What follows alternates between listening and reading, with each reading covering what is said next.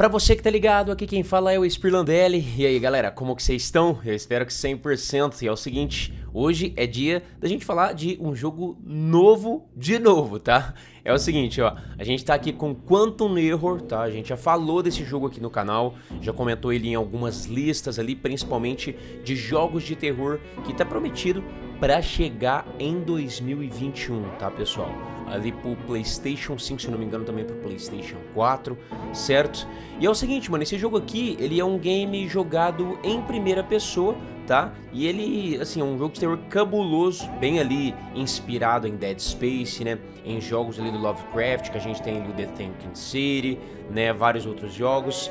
E aqui conta a história, né, de um capitão do corpo de bombeiro é, que você controla, que é o Jacob Thomas. Ele recebe uma ligação, né, de uma fábrica que tem chamas. E aí os caras ligam pra ele, né, tal, fala pra ele, ó, vem aqui na fábrica que o negócio tá pegando fogo aqui, tá tudo perdido, mano. Você tem que vir aqui para dar uma força pra gente. E aí você recebe ligação e vai lá na fábrica, né? Você chega lá na fábrica, só que assim, o incêndio na fábrica, mano, é o menor dos problemas, tá? Tem muitas outras coisas acontecendo cabulosa demais, tá?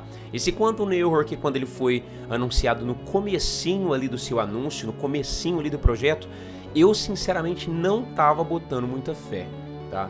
Não tava botando fé muito no jogo não. Mas depois que eles publicaram é, essa semana, né, para ser mais específico, ontem, eles publicaram um novo evento aí, uma nova gameplay, né, jogada em primeira pessoa ou também em terceira pessoa, você que escolhe. Eu achei isso aí muito da hora, tá? E eu acho que uh, todas as desenvolvedoras elas precisam abordar isso aí no mundo dos jogos, tá? A gente pode escolher tanto em primeira como em terceira, certo? Isso é muito bom.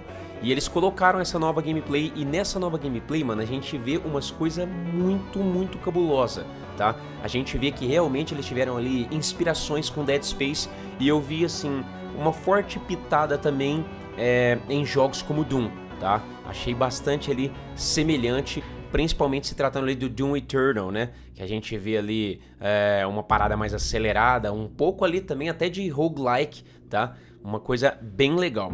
A nossa missão aqui no jogo, galera, é chegar nesse complexo em chamas, né? E salvar o máximo de pessoas possíveis. Só que dentro desse complexo existe, tipo assim, é, é, uma coisa muito mais profunda do que a gente imagina. Não é só uma fábrica pegando fogo, tá ligado? A gente vai lidar com muitas aparições bizarras, uma quantidade de armas muito, muito legal, tá? É, tipo assim, não só armas de fogo, como armas também dilacerantes, né? Tem vários itens ali também como rádio de chamada, pra você poder conversar com seus amigos, né? Uma coisa legal também que tem na gameplay é que você pode, tipo assim, um amigo seu cai lá dentro, você pode pegar ele, arrastar ele para fora ou para algum lugar específico. Achei muito legal. A ideia do jogo é muito boa. É, a ideia de inimigos que a gente vai se deparar no jogo, a gente vai lembrar. Não tem como se assistir essa gameplay recente e não lembrar de Dead Space, tá? Principalmente os monstrengos ali, umas coisas muito bizarras, diferente daquilo que a gente tá acostumado a ver em jogos de terror,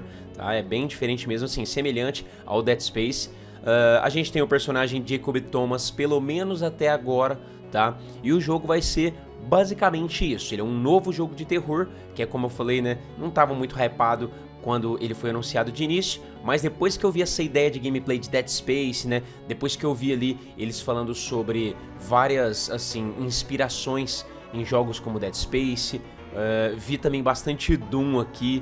Eles falaram também sobre inspirações vindas do Lovecraft, né? Que é o The Thinking City, que a gente jogou aqui no canal. Que The Thinking City é muito bom, galera. Que jogo bom, mano. Achei muito legal The Thinking City. Eu só achei que ele peca bastante ali na jogabilidade, né? E nas animações do personagem. Como eu também um pouquinho achei aqui nessa gameplay. Mas essa gameplay tá muito interessante. Tá, o projeto ele eu não sei se ele está finalizado, na verdade, mas ele está prometido para chegar em 2021 ainda. Beleza? Esse é Quantum Error, tá? Deixa eu só confirmar uma coisa aqui que para mim não passa a informação errada para vocês. Ele é um jogo que vai chegar tanto no Xbox Series X como no Series S, no PlayStation 4 e no 5 também, tá? Provavelmente também no PC, ou seja, gerações passadas e geração atual. Beleza? Então é isso, ó, novo jogo de terror cabuloso e é claro, eu não poderia deixar de compartilhar com vocês essa novidade, tá? Eu não compartilhei antes de uma forma mais detalhada porque eu achava que assim, não tava aquela coisa assim, sabe? Não tava aquela promessa tão assim relevante pra gente falar sobre isso. Até porque eles não tinham mostrado uma gameplay um tanto quanto mais complexa como eles mostraram agora. Mas tá muito interessante, tá galera? Eu vou deixar a gameplay rolar sem facecam, sem eu ficar falando aqui, né? Pra vocês conferir de uma forma mais dinâmica. Então é isso, tamo junto, um grande abraço, falou, falou, falou, falou.